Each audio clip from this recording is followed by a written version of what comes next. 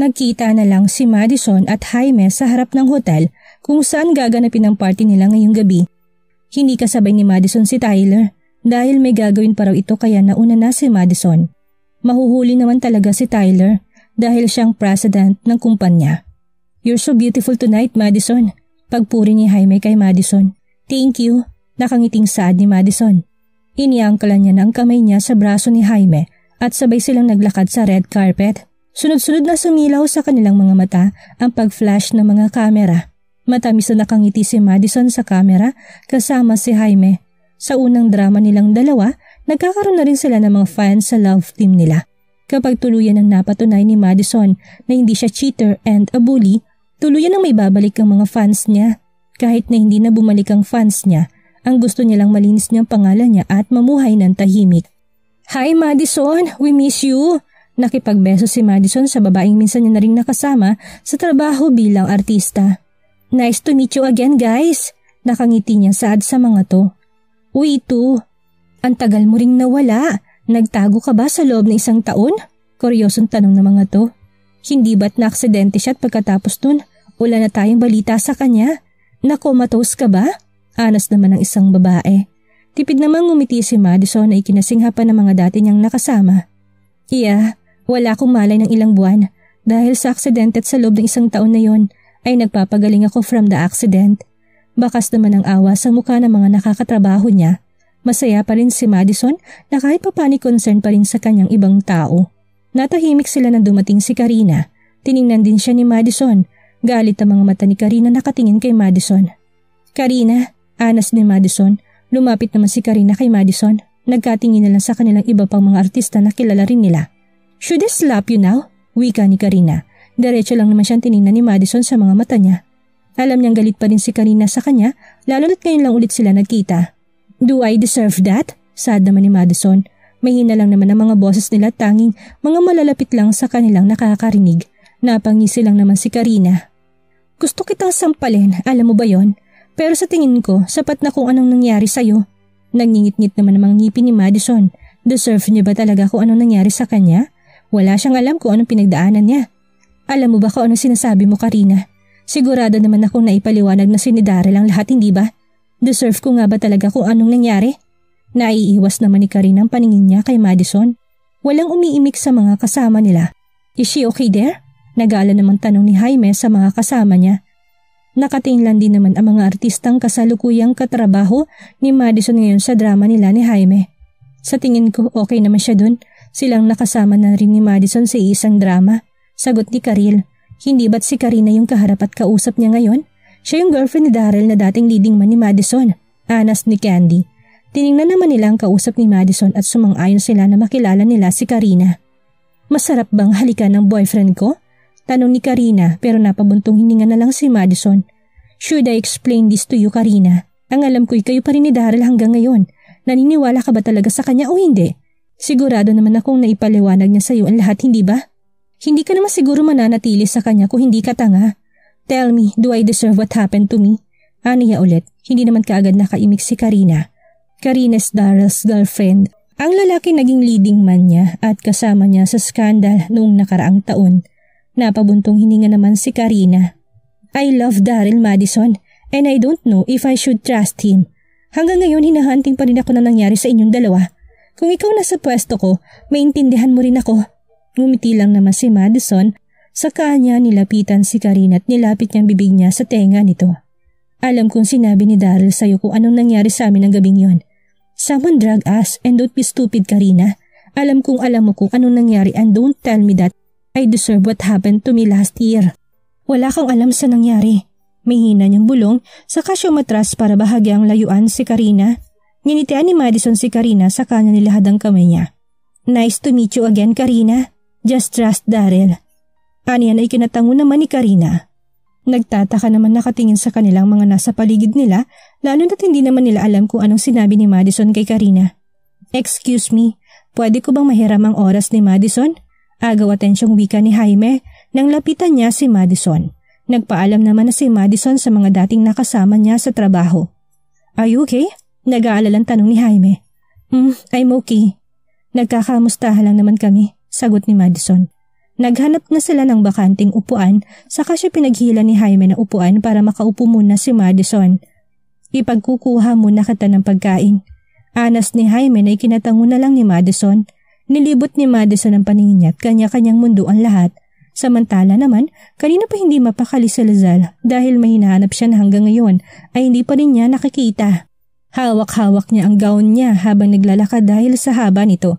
Iniwan pa niya si Rohan sa mga kaibigan nila. Kanina pa lakad ng lakad si Lizal pero hindi pa rin niya nakikita si Tyler o kahit ang sekretary man lang nito. Gusto niya lang naman pasalamatan ang ginawa ni Tyler para sa kanya. Sa kakahanap ni Lizal kay Tyler ay nakaramdam na siya nang pagod kay naupo na muna siya tumingin sa pintuan dahil baka hindi pa dumarating sa event si Tyler. Halos hindi siya nakatulog kagabi dahil sa kakaisip kung paano ba nalaman ni Tyler ang tungkol sa ginawa ni Mr. Tan sa kanya. Nag-aalala ba siya sa akin si Mr. Moya? Nakangitipan tanong ni Lizal sa sarili niya. Hindi pa rin niya lubos maisip na napansin siya ng isang katulad ni Tyler na isang makapangyarihan at mataas na tao. Makalipas ng ilang minuto ay bumukas ang pintuan. Biglang nagliwanag ang mukha ni Lizal nang makita niya si Tyler nakakapasok lang habang kausap si Ariel pero hindi pa man sila nakakalayo sa entrance nang muli silang bumalik palabas kaya hinabol siya ni Lizal. Nang makalabas ng entrance si Lizal ay nilibot niya ang paningin niya para hanapin si Tyler. Napangiti naman siya na makita niya itong nasa lobby at para bang may hinihintay pa. Dahan-dahan ang nilapitan ni Lazal si Mr. Moya. Hindi niya alam kung paano ba niya ito kakausapin, lalo na't ngayon niya lang naman ito makakausap ng harapan at nang silang dalawa lang. Mr. Moya! Malambing na wika ni Lazal na umagaw sa atensyon ni Tyler. Kunot noon namang nilingon ni Tyler ang tumawag sa kanya. Matamis na nakangiti si Lazal kay Tyler at hindi naman niya inimika ni Tyler lalo na't hindi naman siya nagsasayang ng oras sa mga walang kwentang bagay. Kanina pa po kita hinihintay. May gusto lang po sana akong sabihin. May hiningi ng bawat bigas niya sa mga salita. I didn't tell you to wait me. What do you need? Malamig na wika ni Tyler. Mas lalo namang kinakabahan si Lizal dahil sa lamig ng boses si Tyler na para bang nagmula pa sa Antarctica. Humugot ng malalim na buntong hininga si Lizal at muling umiti. Salamat nga po pala sa ginawa niyo para sa akin. Hindi ko alam kung paano ko kayo pasasalamatan. Kung papayag po kayo, ititarit ko na lang po kayo. Kain po tayo sa labas? Blanco lang na nakatingin si Tyler kay Lizal. Ano bang kailangan ni Lizal sa kanya?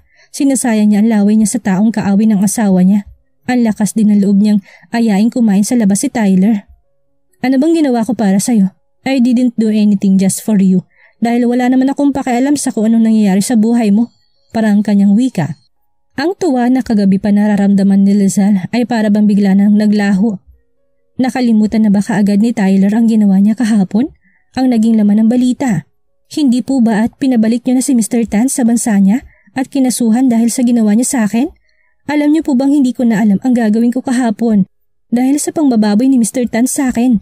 Pero para po bang nawalan lahat ng sakit na nararamdaman ko dahil sa ginawa niyo? Maraming salamat po talaga.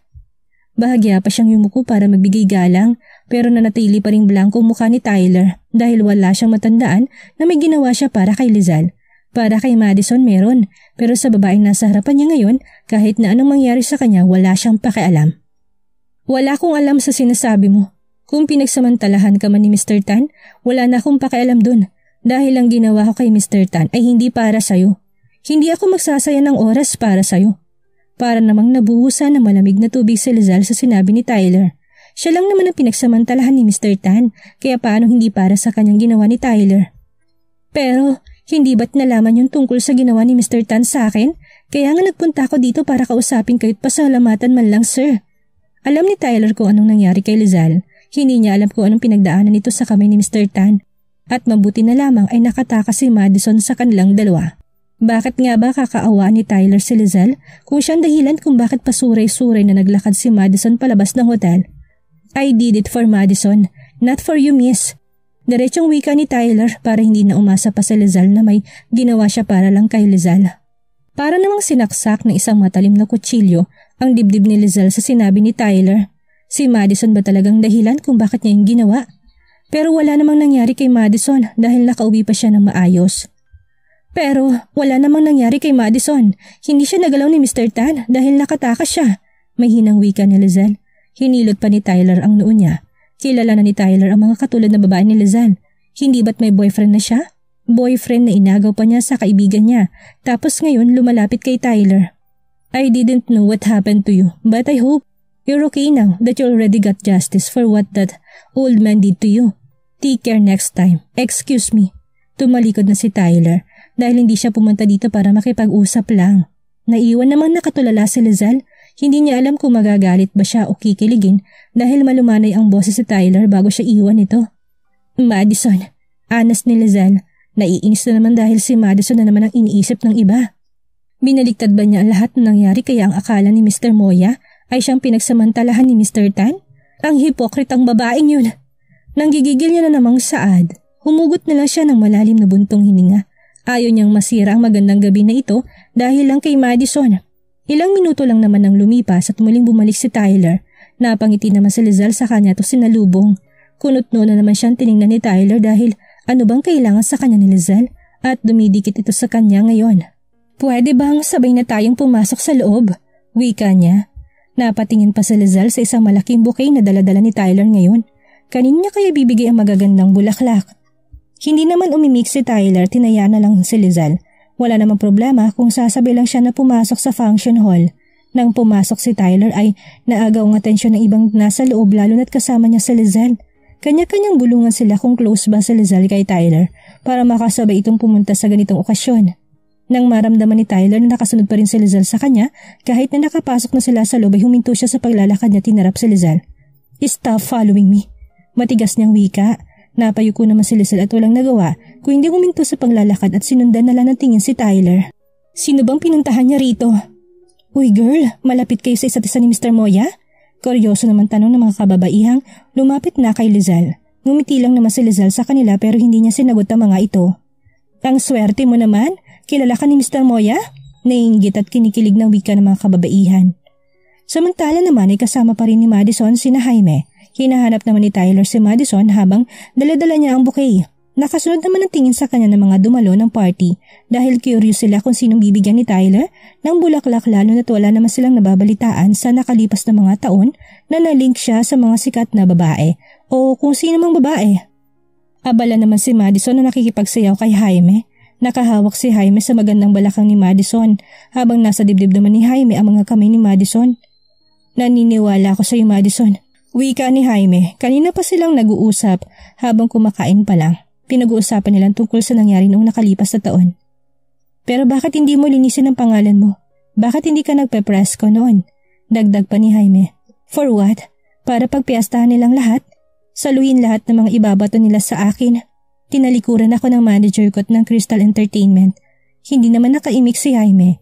Hindi niya akalain na nagawa siyang talikuran ng kumpanya niya at ng manager niya dahil lang sa maling akusasyon sa kanya. Hindi man lang ba siya binigyan ng pagkakataon para may paliwanag niya ang side niya? Sa tingin mo ba may foul play na nangyari noong nasa bar kayo? Tanong pa ni Jaime. Tiningnan ni Madison ng diretso sa mga mata si Jaime. Ayaw niya magbitiw ng mga salita sa mga taong hindi niya alam kung mapagkakatiwalaan ba niya. I don't know. Hinihintay ko na lang ang karma para sa kanila. Dahil alam kong wala akong ginagawang mali. Aniya saka siyang umiti. Kanina pa naman nakatitig sa kanila si Tyler at napapahigpit na lang ang pagkakahawak niya sa mga buki niya. Dahil sa galit na nararamdaman ni Tyler ay binaba niya na lang ang buki niya malapit din sa mga bulaklak na dekorasyon. Saka siya umalis at tinawag si Ariel. Baka kung magtatagal pa siya habang nakikita tila masaya si Madison at Jaime ay magkagulo pa sa party nila. Tinawag niya na lang si Ariel saka siya pumasok sa kotse niya. Hindi naman maintindihan ni Ariel kung bakit biglang nag-iba ang mood ng boss niya. Pumasok na siya sa loob ng function hall at hinanap si Madison. Sa dami ng pumunta sa party natagalan pa siyang hanapin si Madison. Nang makita niya naman si Madison ay naintindihan niya na kung bakit biglang nagbagong mood ng boss niya. Masaya lang naman na nakikipag-usap si Madison sa leading man niya. Wika ni Ariel. Excuse me, sa kanya hinila si Madison para makausap mo na to. Kasama mo na ba si Tyler? Mahinang tanong ni Madison. Oo, kanina pa siya nandito tinihintay kanya sa kotse sa labas ng hotel. Napakunot ng noo si Madison. Hindi ba papasok si Tyler dito? Anong ginagawa niya doon? Bakit hindi mo pa siya sinabay na pumunta dito? Napakibit balikat naman si Ariel. Mas mabuti pang puntahan mo na siya bago pa siya sumabog sa galit. Wika ni Ariel na ikinakunot ng noon ni Madison. Ano naman sana dahilan ni Tyler para magalit sa kanya? Wala naman siyang ginagawa. Naayos naman silang dalawa bago sila naghiwalay kanina. Nagpaalam naman na muna si Madison sa mga kasama niya, lalo na kay Jaime saka siya lumabas ng function hall at dumiretso na sa labas ng hotel. Mabilis naman niya nakita nakaparadang sasakyan ni Tyler sa harap, kaya nilapitan niya ito saka siya pumasok. Nakita niya naman si Tyler na nasa driver's seat at hindi na naman magandang itsura ng mukha niya. Iniisip tuloy ni Madison kung may nagawa ba siya kay Tyler na hindi niya alam. Inisip niya kung anong mga ginawa niya simula nang umalis siya para magkaganito si Tyler. Hey, are you okay? Tanong ni Madison pero napatili na lang siya nang biglang patakbuhin ni Tyler ang sasakyan. Mabilis na isinuot ni Madison ang seatbelt niya dahil ang pinakaayaw pa naman niya ay sumakay sa sakyan at galit ang driver nito. Tyler, what's wrong? Malumanin niyang tanong dito pero bakas ng takot sa tinig niya. Hindi naman nagsasalita si Tyler. Tyler, ano ba problema? Please slow the car. Nakakatakot ng wika ni Madison pero tila bang walang naririnig si Tyler. Napapapikit na lang si Madison dahil pakaramdam niya ay mababangga sila. I said stop the car! Ano bang problema? Galit na talagang saad ni Madison. Wala siyang ginagawa kay Tyler para magalit at kung galit man ito, kung kanino man ay huwag na siyang idamay pa. You're asking me what's the problem. You Madison, you! Sinabi ko ba sa'yo na pwede ka makipagsayaw kahit na kaninong lalaki? Malinaw ang usapan nating dalawa na walang ibang hahawak sa'yo. Galit na rin sigaw ni Tyler. Yun bang dahilan kung bakit siya nagagalit? Nakita ba sila ni Tyler kanina habang magkasayaw ni Jaime? Nagsayaw lang naman kami at wala kaming ginagawa. Saka nag-uusap lang din kami. Buisit, wala akong pakialam kung anong ginagawa niyo. Pero walang ibang hahawak sa'yo. That man kiss you already at hindi pa pa siya doon ako kontento. Halos mapahila mo si Madison sa mukha niya. Bakit ba late ng pasensya ni Tyler? Sayaw lang yung Tyler at walang mali doon, lalo na't nasa party kaming dalawa. Magalit ka sa akin kapag nakita mo kaming dalawa na walang kasama. Muntik pang mauntog si Madison na biglang ipreno ni Tyler ang sasakyan niya. Get out! Malamig na saad ni Tyler. Hilaw namang natawa si Madison at hindi siya nagdalawang isip na bumaba ng sasakyan. Nang makaba siya umalis naman kaagad si Tyler. Naiiyak na lang sa galit si Madison dahil iniwan siya ni Tyler sa isang madilim na lugar. Napaupo na lang si Madison sa madilim na lugar na yon. Naiwan pa niyang bag niya sa loob ng sasakyan ni Tyler sa sobrang inis niya. Nandun ang cellphone niya kaya wala siyang ibang makita sa daan. Inis namang napahampas sa manibela si Tyler. Isa sa mga dahilan kung bakit ayaw niya makapag-date sa mga artista o kung sino mang mga sikat na babae dahil sa maliit na pasensya niya kaya hindi niya maintindihan kung bakit tinayaan niyang pumasok sa buhay niya si Madison. Kilala niya ito sa pagiging magaling niya sa industriyang pinili niya pero wala siyang pakialam doon. Ayaw na ayaw niyang nalilink ang pangalan niya sa mga sikat na babae pero hinayaan niyang pumasok si Madison sa buhay niya at pinakasalan pa to. Shit! Inis na kinabing ni Tyler pabalik ang manibela niya lalo na't madilim pang lugar na pinagbabaan niya kay Madison. Kahit nagalit na galit siya, hindi niya pa rin matitiis si Madison. Is he in love with that woman? Nang makabalik siya kay Madison ay mabilis siyang bumaba ng sasakyan sa kanya nilapitan si Madison na nakaupot umiiyak na ngayon. Mahigpit niyang niyakap si Madison at hinaplos ang buhok nito. I'm sorry, I'm sorry. Paulit-ulit niyang saad. Ano bang naisip niya at iniwan niya sa madilim na lugar si Madison? Paano na lang kung may mga tambay pala dito at naghihintay lang na mabibiktima nila? Tahimik namang humihikbi si Madison dahil sa takot niya. Ang akala niya hindi na talaga siya babalikan ni Tyler. Shh, I'm sorry. I will not do this to you again. I promise. Stop crying. I'm sorry. Malambing niyang wika. Minsan ay naiinis na rin si Tyler sa sarili niyang ugali. Masyadong malit ang pasensya niya, pero para kay Madison handa niyang lulukin ang pride niya. Kung malas na sa pagkakayakap si Tyler sa kanya pinunasan ang mga luha ni Madison, nakakalain mo naghilamos siya ng tubig. I'm sorry, okay? Let's go home. Binuksan niya ng pintuan sa passenger seat at nang makasakay na silang dalawa ay umalis na sila sa lugar na yun at tumuwi. Tahimik lang naman si Madison hanggang sa makauwi sila. Nauna nang pumasok ng kwarto si Madison saka siya nag-shower at nagbihis. Hindi niya pinansin si Tyler dahil naiinis pa rin siya dito. Hindi niya ito mapapatawad dahil sa pangiiwan niya sa madilim na lugar na yon. Nauna na natulog si Madison at nakatalikod siya. Napabuntong hininga na lang si Tyler. Kasalanan niya rin naman dahil hindi niya nilulugar ang pagsaselos niya. Is he really jealous? Bakit ba naiinis siya sa tuwing may lumalapit na mga lalaki kay Madison? Siyang nagsabi kay Madison na kasal lang sila sa papel Ayaw na ayaw niyang pinapakailaman siya ni Madison pero pinapakailaman niyang personal na buhay nito. Naupo na sa kama si Tyler at nagkatingin na lang siya kay Madison na nakatalikod sa kanya. Sa limang taon na nakalipas, ngayon na siya ulit nakaramdam ng ganito. Ang magalit dahil sa isang babae. Ang magselos dahil may ibang kasama si Madison. Napapasuklay na lang si Tyler sa buhok niya. Hindi niya na maintindihan ang sarili niya. Alam niya hindi pwede kung anong iniisip niya. Hindi pwedeng maging magandang relasyon nila ni Madison. Hindi sila pwedeng mahulog sa isa't isa dahil masyadong komplikado. Masasaktan niya lang si Madison at ang sarili niya kung hahayaan niya magpatuloy ito. Kinabukasan na magising si Tyler ay wala na si Madison. Ang akala niya nasa kusina pa ito pero sinabi ng mga katulong niya na maagang umalis si Madison. Tinawagan ni Tyler si Gary dahil alam niya ay alas 9 pang simula ng taping nila.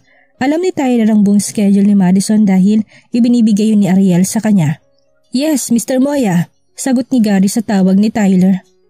Ang akala ko ba'y alas 9 pang simula ng TV nyo? Ani rito dahil masyadong maagang umalis si Madison. Yes, mamaya pang start ng taping namin dahil nire-ready pa lang ng mga staff ang place. Why did you ask? Napakunot ng noo si Tyler. May iba bang pinuntahan si Madison?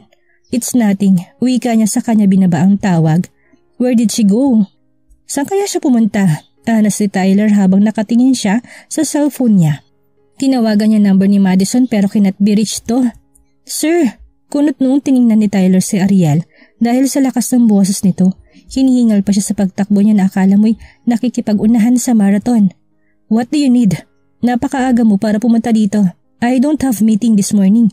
Masungit niyang wika. I came here for this. Nakita niyo na ba to? Pinakita ni Ariel ang cellphone niya kay Tyler.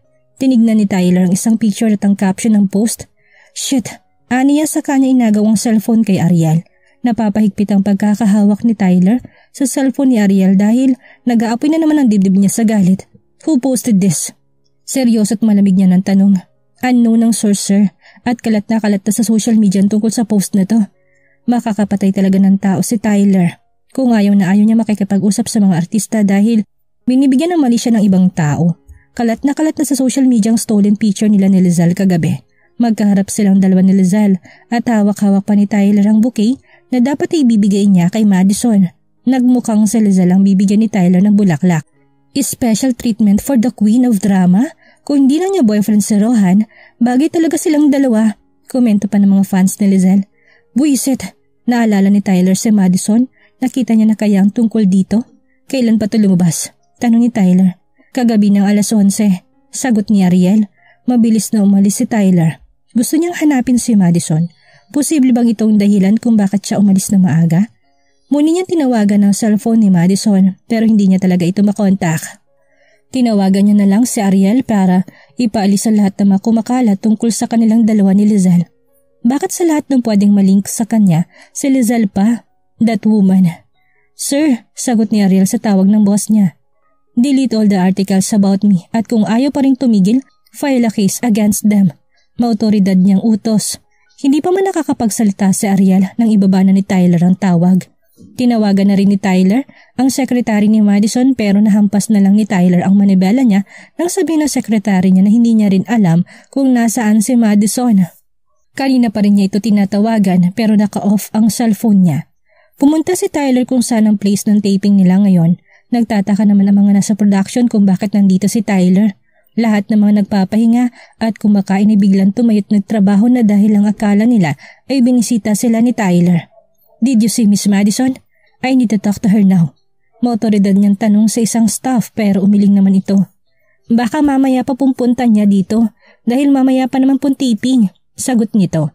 Nilibot ni Tyler ang paningin at abala naman ng iba sa pagtatayo ng tent para sa mga artista. Where is Miss Madison's tent? Tanong pa niya, tinuro naman nila kung saan ang tent ni Madison, saka yung pinuntahan ni Tyler. May nakalagay naman na pangalan ni Madison sa labas ng tent niya. Pumasok siya doon at naupo sa isang upuan. Kung hindi man niya ito mahanap, hihintayin niya na lang ito dito. Samantala naman ay natutuwa si Lizal sa nakita niyang article sa internet tungkol sa kanilang dalawa ni Tyler. Nag-message na rin sa kanyang iba pa nilang katrabaho at nagtatanong kung anong meron sa kanila ni Tyler. You're happy about that? Do you like Mr. Moya? Alam mo namang ayaw na ayaw niya nadadawit ang pangalan niya. Wika ni Rohan na hindi natutuwa sa nangyayari. Hindi nila lubusang kilala si Tyler at hindi nila alam kung anong kaya niyang gawin. Ano ka ba? Nakakatuwa lang yung nag-post. Siyempre, special treatment for the queen no? Aniya patila kinikilig habang nagkatingin sa stolen shot nilang dalawa ni Tyler. Ano bang pinag-usapan yung dalawa? Bakit mo kasama si Mr. Moya? Inis na tiningnan ni Lizelle sa Rohan dahil bakas ang selos sa tinig nito. Anong gagawin ni Madison sa mga kumakalat na sweet photo ni Tyler at Lizelle? Makaramdam kaya ng selos si Madison? Anong gagawin ni Tyler kapag nakita niya ang asawa? Yan ang ating aalamin sa susunod nating kabanata.